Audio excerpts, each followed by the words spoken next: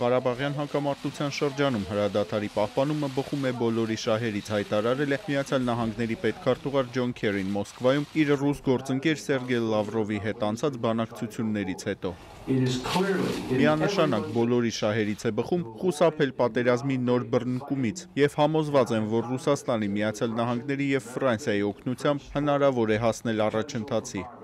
Քերիի խոսքով ինքն ու Ռուսաստանի արտգործնախարար Սերգեյ Լավրովը մտադիր են շարունակել Ղարաբաղյան կարգավորման վերաբերյալ խորհրդակցությունները եւ խրախուսել Հայաստանի եւ Ադրբեջանի նախագահներին երկարատև խաղաղ համաձայնության գալ։ Ես պատիվ եմ ունեցել հանդիպելու երկու նախագաներին Վարշավայում եւ մենք բոլորս խրախուսում ենք նրանց պատերազմի հաղթահարման ուղղությամբ քայլեր ձեռնարկել եւ շարժվել դեպի խաղաղություն այս անչափ երկար շարունակվող սառեցված հակամարտությունն ավարտելու համար։ Պետքարտուղարը նաև շնորհակալություն է հայտնել Ռուսաստանի նախագահ Վլադիմիր Պուտինին Պետերբուրգում անցկացված նախագաներ Սարգսյանի եւ Ալիևի հանդիպման համար։ Ռուսաստանի արտգործնախարար Սերգեյ Լավրովի խոսքով կարևոր է ապահովել Հայաստանի եւ Ադրբեջանի նախագաների միջև պայմանավորվածությունների իրականացումը։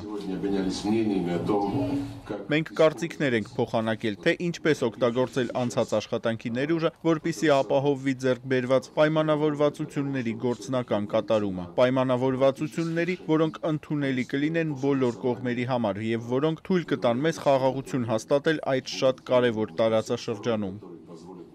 Ավելի քան 10 ժամ տևած բանակցությունների ընթացքում Միացյալ Նահանգների եւ Ռուսաստանի արտաքին գերատեսչությունների ղեկավարները այնքան էին կենտրոնացել Սիրիայի, Ուկրաինայի, Ֆրանսիայի եւ Լեռնային Ղարաբաղի խնդիրների վրա, որ իրենց խոսքով վերջին պահին էին միայն տեղեկացել Թուրքիայում տեղի ունեցած իրադարձությունների մասին։ Արման Թարջիմանյան, Ամերիկայի ձայն, Վաշինգտոնից։